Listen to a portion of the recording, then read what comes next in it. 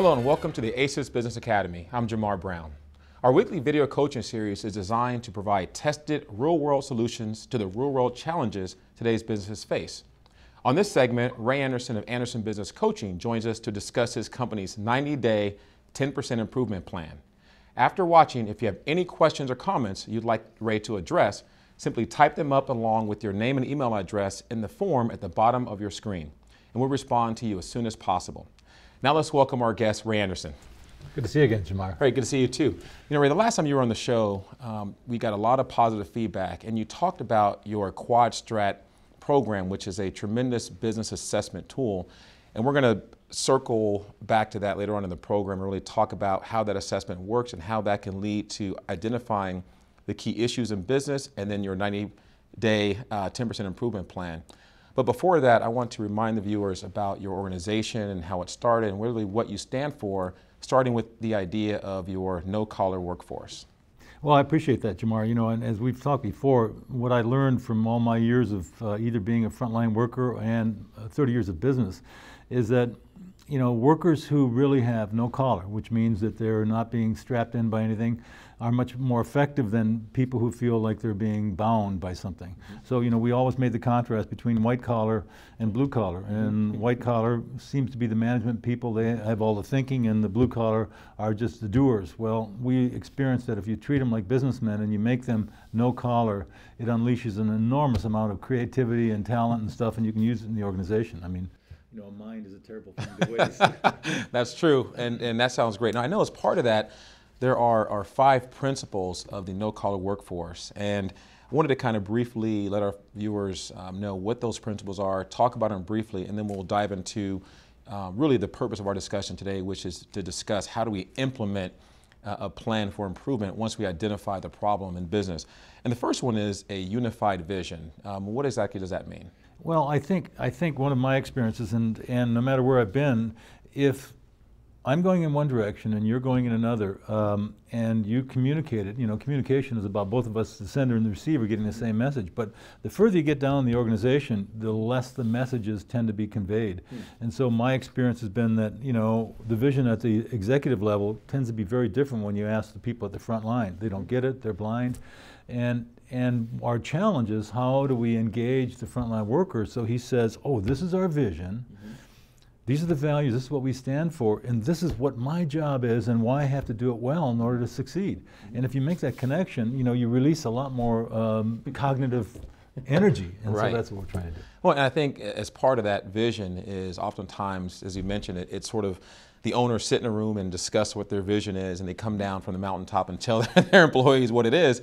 And oftentimes people go, well, that sounds great for them, but what does that mean for me? And I think part of what you've talked about in the past is the importance of, of ownership and management, understanding that the employees need to be connected to that vision by knowing that when they show up to work every single day, their efforts and their uh, experience in the company not only benefits the company, but also benefits themselves. Yes. yeah. I mean, you know, the point is that the truth is that most of us spend r- roughly 12 hours of our time every day work related. Mm-hmm. And so if we can engage that worker so that he really understands his value and incent him in some way, it just makes an enormous difference. We get staggering results because people want to make a difference.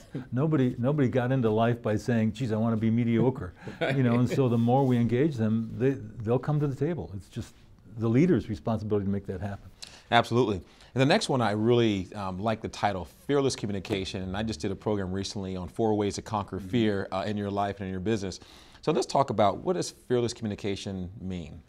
Well, you know, and I and I hear this so often. You know, the owner says, "I got an open door policy. I don't know why these people don't talk to me." And then I go down and talk to the front line. And they said, "Yeah, I brought up four problems. They call me a troublemaker, so I'm not saying anything anymore." Right. And so, you know, fearful communication has a lot to do with the dynamics inside the organization, and you know, how do we structure it in such a way so that they're encouraged to let people know about the problems, and these problems are fixed because it really is in the best interest of the employee, the management, and the executive. So you know, just breaking through that barrier, finding out where it is, is, is enormous. And I think you've shared some stories from your own experience. Right, absolutely. And, and fear does unfortunately run rampant in a lot of organizations. And if we can just eliminate fear and open the doors for effective communication, I think uh, you, companies would be amazed at the at the significant turnaround that can happen very very quickly. Well, yeah, and that's that's been our experience. This is not rocket science, but it's amazing how how people how blind people are to the things that are obvious. Right, exactly. Now, what about appropriate skills? You know, we talk about skills training and, and, and needs of employees, things like that, yeah. but you talk about appropriate skills. What does that mean? Well, you know, if we look at unified vision and we look at fearless communication, the next step in that is how well are they trained? And I kiddingly uh, like to say, you know, when those of us who have kids, and I, and I know you do, Jamar, mm-hmm. you know, you can't imagine taking your daughter out teaching her how to ride a bicycle, and after she fails four times, saying, "That's it, no more teaching a bike." you know, I mean, we wouldn't do that. And yet, when I, I'm in the workplace, you know, the idea of training is like the bicycle. You push them out in the street and say, "Good luck," and and let them go. And so they train one another. And because of the lack of communication and the lack of unified vision, the frontline worker may very well be trained in some way that's totally inappropriate to where they're going. Mm. And so they need a lot more skills, but everybody says, well, they've been trained. well, maybe, maybe not. And what I've experienced is that most of them really don't understand the direct connection between what they're doing and how they could do it more effectively. And it's huge. Mm-hmm. And so appropriate skills is something that they want, but they don't even know exactly what it is that they need. Mm-hmm. And so we have to work on that together. That's a good point. And I know in, in, in my past experience, it was almost like survival of the fittest. You know, they, mm-hmm. they would train everyone, and, and, it was sort of like um, you go through a week or two of training and you go out into the field and you go sell, and, and they say, well, whoever comes out on top is, is the winner. And what I would always say is, what if we took the time to really provide effective yeah. training and not just put people in the fire, not just throw them in the lion's den? Because mm-hmm. oftentimes good employees don't like that. And if you just took the time and said, because I think at the end of the day, the cream will rise to the top. And so let's give the cream the best ingredients to rise to the top as opposed to trying to throw everyone out there into the fire. So I like the idea of, of the appropriate skills aspect of, of what you do. Now, go ahead, go ahead. No, no, no, no, no. I'm, I'm I know we're both thinking about things, uh, stories, yeah. and experiences. Meaningful incentives. And what I've read about your organization and what you teach is that it's not always about money. And people want to jump to, well, if we pay more, we'll get more. And I think from your experience and, and my experience, that's not always the case. So let's talk about meaningful incentives. no, I got, and the reason I was smiling, I got to share a story with you. I was, I was in a company one day, and I, and I said to the CEO, I says, "Well, how many people work here?" Mm-hmm. And he says, "Oh, about half of them." and and the point is that you know I was looking for numbers, right? Right, right. So in that comment, and he really didn't mean it humorously, but it was very funny at the time. Right. And meaningful incentives, as we both know, are not always about the money because, mm-hmm. as we talked about, you know, people, many of them will spend a whole lifetime working at a job because they like the family, they like the working with the mm-hmm. people. But if we were just to recognize their contribution, if we were just to say, hey, what kind of challenges are meaningful to you? Um, how about a, a thank you? Mm-hmm. Or, or maybe catching somebody doing something right, right instead right. of mm-hmm. walking out and, and, it's the leave them alone zap right. principle, you know? Mm-hmm. And so to me, those are the things when we go out to somebody and say, what's preventing you from doing your job? What could we help you to m- make your job better, mm-hmm. faster, mm-hmm. simple, or safer? They'll always come back and give me something. Right. And they'll say, well, how come you haven't brought that up? Well, I have. I brought it up five times. I'm just tired of bringing it up. well, and, and, and to that point, just going back to money for, for, for a second, and I think it's important people, for people to understand, especially leadership and management, is that money in and of itself is really not the important thing for people. It's really mm-hmm. what money means to them. It's not let me make more money. It's mm-hmm. let me make money so I can buy my first house, so I can mm-hmm. put my daughter through private school, so I can I can pay for my marriage, so I can you know put money away for college, so I can put money away for retirement. And so if we can connect money with what it really means to that individual, then they get so much more oh. connected to the organization. But you have to ask questions. You have to have fearless communication. You have to yeah. do the things you're talking about to get there. But once you get there, I've seen some powerful changes and transitions in organizations. No, and, I, and I've experienced the same thing. And when we talk about meaningful incentives, the truth of the matter, and the guy who said about half of them, if we don't have meaningful in, incentives, the good people leave, mm. and we're stuck with the people who are not. Mm. And so that's a double whammy of not having meaningful incentives. And the point is, it's not about money. And, I, and I've had a lot of executives say, well, look, I paid him more and it didn't make any difference. But the mediocre ones stay because well I can't find another job or you know I'm I'm happy right here and I'm just working at 50% and mm. that's that's good. The good ones are saying I'm looking for more in my life right. and this right. wasn't right. it. Absolutely. You know, Absolutely. so that's the exciting thing about this and that's why meaningful incentives are so powerful. Okay, and the last point here is necessary resources. Kind of walk us through what that means you know, and, and some people say it's, well, you know, I gave them everything they needed, I gave them the tools I gave them, but sometimes, and you know, and you've experienced this, mm -hmm. I think, you know, you told me once that, you know, you came into an organization that was lowest in sales and within a year and a half because of the style of leadership you brought and you transformed them. Mm -hmm. And so when you look at necessary resources, sometimes people think, well, as I've mentioned once before, you know, we don't have a broom, so we can't keep the place right. clean. that's a pretty obvious example. Mm -hmm. But the point that I'm trying to make is that we know that the, the frontline worker or a person's experience inside of an organization is a direct reflection of their direct superior report. Mm. If that relationship is strong, if that person treats them with dignity, if that person treats them like you would like to have mm -hmm. your employees treated, that, that person tends to blossom. Mm. If that relationship is bad, then we see in our quad strat assessment many times, you know, we get these isolated pockets. Mm -hmm. And we realize somewhere now you've got a manager or a supervisor who's probably not treating right. the people they need to be. So the resources in this case are good support, mm -hmm. you know, good management, encouragement, mm. you know, those kind of things that are intangible but have an enormous impact. So Absolutely. if that makes sense, those, that's why those five things are really important and they kind of drive everything you know, from where we start with the quad strat all the way to our nine-month implementation process. Now, another flagship uh, of your program is Good Hearted Leadership. And I, and I, love that title. There are a couple of books out right now, mm -hmm. Conscious Capitalism, mm -hmm. uh, Firms of Endearment, that really talk about this new paradigm in business. And so when I look at, when I think about Good Hearted Leadership, it reminds me of those books and the concepts in those books.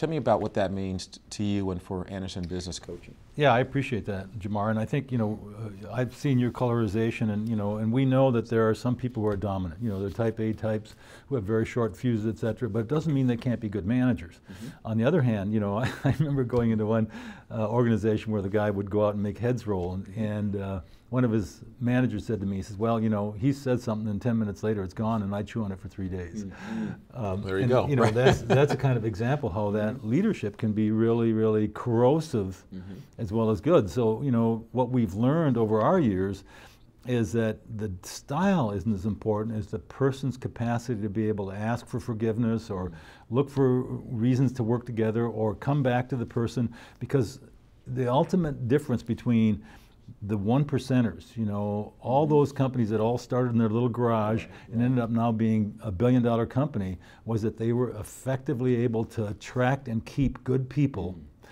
and then make them available to be able to delegate stuff so they could focus on what was really important in the business. And that's why 95% of the business struggle to just survive. 80% mm. after five years are gone. it's because the leader can't make that transition. And it's not his style, it's his ability to be able to attract, keep people, and delegate things or automate them. And that's, you know, that's right. been our experience. So the good-hearted leader is the person who understands and appreciates the importance of everybody in it. Mm. They may uh, react differently, they may have short fuses, but they understand I can't do this alone. Mm -hmm. And if I can uh, take people with me who, who are committed right. to what I'm doing, Absolutely.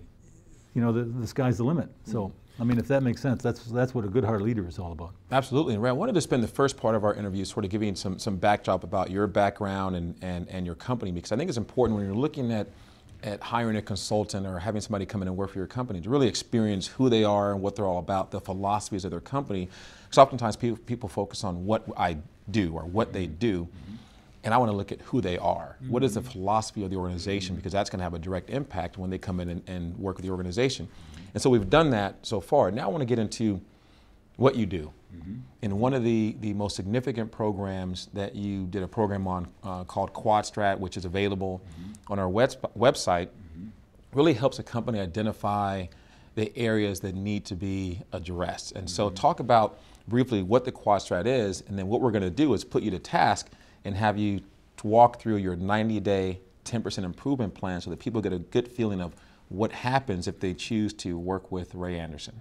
No, I appreciate that. And you know what, what we like about the quad strat is that basically good leaders are always trying to compare themselves to something relevant in the marketplace. Mm-hmm. And our tool, the first thing it does, and you know, is give the executive an opportunity to see how they're doing in relationship to 4,000 other companies in terms of these best practice statements. Some of them on strategy, which I like to refer to as the bricks. You know, Okay. it's you know, if you have an architect, he says, "Look, I'm going to put these together because they'll be strongest in this particular configuration." The other side is culture, which is the mortar. Mm-hmm. And the architect is aware that if I have strong ar- mortar and I have a good structure, mm-hmm. you know, the building will stand up. But we also know that if, if you don't have good culture, Mm-hmm. it'll eventually destroy the mortar and all the structural integrity will, will be gone. So that's what we look at when we look at the organization. Good leaders understand both those work together. One's high touch, one's high tech. Okay. How do we make those uh, and manage those in such an effective way that we're attracting good people? Okay. So that's what the tool does. Mm-hmm. You know, it gives them a report card against 4,000 other companies. Mm. That's nice on the outside, but more importantly, what does everybody on the inside think? Mm. And how do, what do they feel?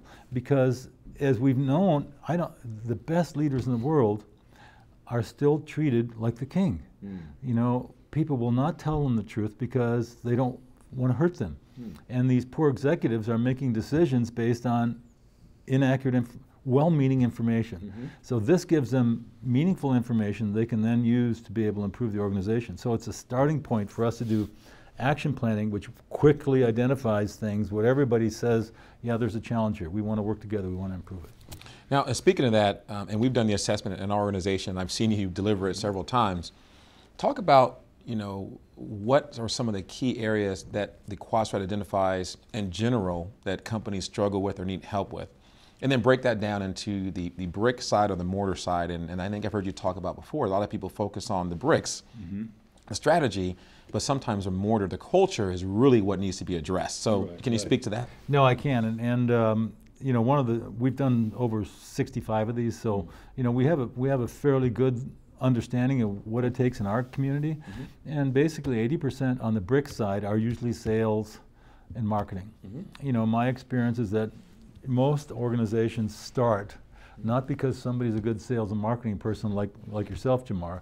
Typically, they're good at doing something. You know, it could be machining, it could be uh, uh, any software, whatever that thing is. But sales and marketing tends to be off their radar.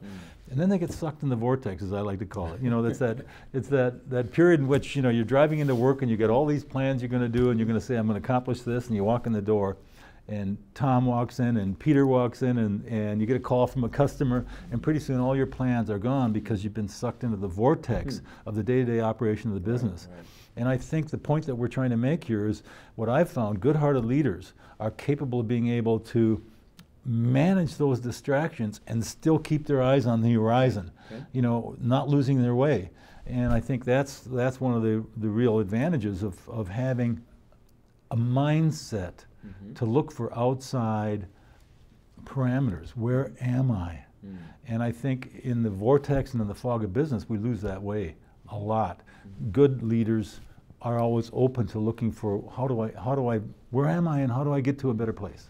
Well, and, and um, I, I think that's a good jumping off point um, in, in terms of talking about, let's say a company does a quad strat, which, and it's interesting, some companies say, I already know what my problem is, and they call a salesperson or a marketing mm-hmm. person, and they come in and do a sales training program. And oftentimes that works.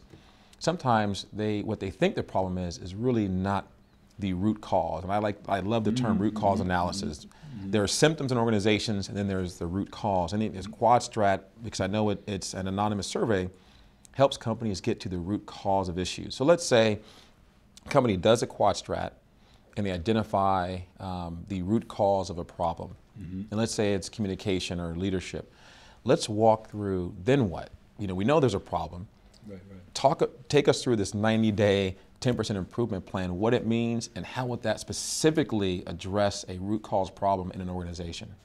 Yeah, I appreciate that. You know, the, the issue is that once we do the action planning, it typically in when we look at constraints to the quad strat, it'll identify a couple things, as you point out in strategy, the bricks, mm-hmm. and a couple things in the mortar. And the mortar are typically organizational communication comes out a lot. Okay. And communication, as you and I both know, is, is a very broad topic. what does that mean? And so a lot of what we do then say, well, what does that mean? Mm-hmm. And what specifically? Is a person capable of being able to say, hey, I've got this problem, and like in Japan, get it fixed in, in a matter of days? Or is he bring up the problem and it gets buried under a, a, a whole bunch of other things that you know have happened in the vortex? So what we do is we take the, the, all the, the major issues mm-hmm.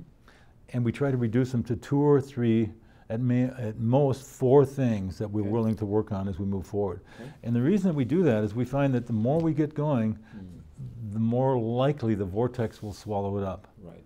And then we simply, in this 90 day plan, our goal is to say, here are the four things we're going to work on. And when we do the action planning, we'll simply say, well, look, we don't have a marketing plan. Well, the first thing we want to do in, in, a, in our immediate action planning is look, let's make a list of what we do have in the way of marketing. So that's something that somebody can accomplish in a week. But now that we've moved into the next phase, it becomes clear as to, well, who are you going to hire? You know, clearly you don't have enough resources inside, and, and I'm sure you've seen this too. Smart owners realize I don't have the internal resources, and they either hire them, they outsource them, or some other way to, to make up for the internal you know, difficulties. So that's what we focus on. What are you going to do to fix this problem between now and the start of our 90 days and the end of it? Mm-hmm. And the end of it may not be fixing it because we may have just laid out the plan. Mm-hmm. On the other side, the area where I spend a lot of my time is organizationally, how do you engage the workforce and create incentives for them using those five principles I talked about to get them on board so that they can reduce cost by 10%, percent mm-hmm. they can increase revenue, they can increase productivity. And 10%, you know, people go, yeah, I can do that. Right, You know, it doesn't challenge them, and sometimes we put together both 10% and BHAGs, which I'm sure you've heard of, you know, Right. big, hairy, audacious mm-hmm. goals. Mm-hmm. But the neat thing about the 10%, once they get it, they start looking at the BHAG. Can we do 25%? Got it.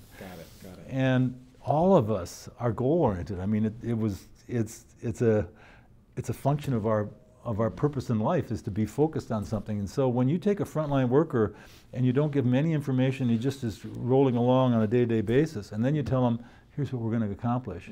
And I, I may have mentioned this, but we had this client who was making the, um, the PVC pipe for the infrastructure on the superhighway back in the late 90s. Once we told the employees what it was, it transformed their thinking because now they understood the vision. We're involved in the information superhighway. So it gave them a sense of pride, it gave them a sense of ownership that otherwise they were just making PVC piping, putting it in a rack. So there's an example, and then when we establish the plan, the goal is to say, let's look at incentives. What are we doing to incent people? It always astounds me. I'm very seldom inside an organization, and as a sales and marketing guy, when don't you see some kind of a commission based on what's the value to the organization if the guy goes out and sells something? Mm-hmm. They understand that your motivation is I can make a lot more money if I'm able to sell more. Mm-hmm. The contrast to that, and it's really been kind of a struggle to me if I can look at this, mm-hmm. we try to say, okay, if it's important for you to reduce costs, what's the incentive for the employee to do that? The example I use, is, and if you have your daughter or any kids, you tell them to turn off the light, and they say, okay, and the next morning the light's on again. Because there is no correlation in their mind between turning off the light and the purpose that you're trying to get to. Do you know what the bills are every month? And the same is true for employees. You know, what we try to do is say, look, can't we establish a meaningful incentive that takes 25% of the savings for all the utilities over the past year and give it back to the employees for having done a good job of figuring out, hey, here's another way to cut costs. All of a sudden, it's changing their thinking, you know, and, and the experience we've had is that that really fundamentally changes their approach to the business. It, it creates that no collar mindset in which they're actually a businessman and they're incented to be able to help solve the problem instead of be a part of the problem. I think that's so critical in terms of, of your process, because I think it's very clear what the process is. But if you don't have buy-in from everyone in the organization, mm-hmm. then it's probably going to fall apart. You know, we've seen that in many organizations, and so understanding the importance of getting employees to buy into the plan, and then to understand what's in it for them by being connected to the vision based on how it benefits their own personal vision, mm-hmm. you know, we could see tremendous results. Now, take me through some of the some of the the outside of, the buy-in. Are there any challenges that you've seen with implementing the plan? um, and, and, and how can someone get through those challenges? That's a very good observation. I think, you know, let's take a look a little further. You know, just, just creating, you know, this, this incentive mm-hmm. is a major challenge. You know, uh, we just completed one in which we have a suggestion format mm-hmm. that invites people to submit su suggestions, and if they add value, if they make the organization faster, better, simple, or safer, they get an immediate $50 check. Hmm. The executive team has to meet on a weekly basis to agree that yes, this is important. And all, the reason I share this with you is that many times they'll come up with an idea and they'll think, well, this is the best thing since sliced bread or hmm. saran wrap. but they go to the executives and the executives say, well, no, you know, there's a problem. And we had a client that, that was using uh, trailers to deliver garage doors to buildings and they wanted to move to pickup trucks. And and all the all the installers said, no, it's going to be a lot harder. There'll be a lot taller. There's going to be a challenge. Blah blah blah. And so we had to get back with the management and have the management explain, I'm sorry guys, it's only six inches higher. Mm -hmm. It's going to cut our costs for liability because we've got these trailers. Mm -hmm. It's going to enable us to save other costs, and we really need your support. Right. But the fact that they came back and communicated that, and they got feedback, everybody says, oh, okay, we got it. Mm -hmm. And too many times what we experience is that we don't give them the feedback. The, the feedback loop is typically broken. And as a consequence, you got these clots of information. If we hadn't explained that to the installers, they would have thought that we didn't listen to them, mm -hmm. and they would have taken the results, but it would have created that wedge of, of distrust. Mm -hmm. By having the communication, we open that up. Mm -hmm. So on the suggestion format, it needs to be implemented on a weekly basis. In other words, they have to go and review them, decide whether they're going to get them implemented, whether it actually has a benefit. And in this particular context, $50 is the beginning. If at the course of the end of the month or the end of the quarter when they have another meeting and they find that it saved significantly more, they'll give that person even more money. But the immediate 50 says, wow, this is meaningful. So that's one of the examples of how we implement things immediately to make a change. And, and Ray, um, last but not least, I, am going to put myself in the position of, let's say I'm a C-level executive or a business owner watching this program. I go, oh, that seems pretty interesting. I like what Ray's talking about. The quad strat sounds great. I, I think he, I can relate to what he's saying. He might be a good fit for my business, but how am I going to afford this? okay. um, number one, and then secondly is, is, is this another program that people are going to do more? I mean, my, my employees already do a lot. I already have all these programs and and you know, I don't want to add something to this. And, and we've had discussions offline about that. So talk about not necessarily about how much the program costs, because that's that's that's you know outside of this program, but in terms of, of maybe the cost of not doing something, and also talk about this whole idea of, of 10% versus a major overhaul in your business and how you can help an executive or an owner feel comfortable that this is going to, for the investment, be be worth 10 times the investment after the end of 90 days. Right. No, that's that's that's a very good observation. And, and one of the um, one of the things that I learned from Bob Beal, who was who's a very good um, business consultant, he once said, "Every CEO pays for exactly what he needs. Sometimes he buys it." and the point is that you know it's through frustration, not getting things done, or whatever. Those those things happen all the time. The truth of the matter is that when we let these things fester, when the vortex eats everything up, our organization becomes less effective, we become less effective, our people's morale is broken. You know, the costs on that are enormous, and we've talked a little bit about what that is. By switching this around, the return on our investment has been enormous. And one of my best clients, Darlene Jerome, in a matter of 18 months took a company. She'd never been a plant manager in her life, but she took that from number six in a six plant network to number one by applying the principles that we're talking about here. She was just extremely coachable. And what she started off, because they had an incentive plan, she said to a group of CEOs who were invited to hear what she had done, all looking very skeptical about what can this woman offer, right? she says, well, last year we spent $400,000 on bonuses. And they're all going, you know, we're, we're lucky to be able to pay our salaries. How are we going to pay 400000 in bonuses? Mm -hmm. And then she said, but we made 1.5 million. Now, anytime you send me to Las Vegas and say I'm going to get 1.5 million if I if I put in 400,000, I'll probably go be going with that bet. It's good investment. You know, so so I mean it's it's the point is that this is this is simple, but it's not easy. So I'm not trying to suggest that this is a magic bullet. It's a lot of work, and the 90 days is simply our effort mm-hmm. to get it started and get everybody to buy in at the executive level to see the value. So that makes sense. Well, and, and I want to finish up on, on the efficiency piece, but just to touch on cost. I mean, you know, companies are, are, are bleeding right now cost-wise because there's a cost of not doing something. There's yes. a cost of miscommunication. I did a program which is titled "The Cost of Miscommunication" in terms of of, of, of loss and referrals, customers being upset, social media, negative feedback, and a whole host of things. And so I think it's important to look at investing in programs that you, a small investment can lead to a major return in the organization. Yes. So I think that the cost thing should should be dealt with. The other piece of this is is my employees already do so much. You know, we have this program and that program, and I love this 10% concept because it doesn't seem like it's, it's a big investment. So finish up with the, the, the 10% and why that's significant to help me as a business owner understand this is not going to be just yet another program mm. to, to put more work on my plate or my employees' plate. Yeah. yeah. And I appreciate that. You know, one of the things that we start with, obviously, when we're working on this, is the idea of freeing up 10% of everybody's time. Mm-hmm. And I think the real challenge that we find is that research is pretty clear.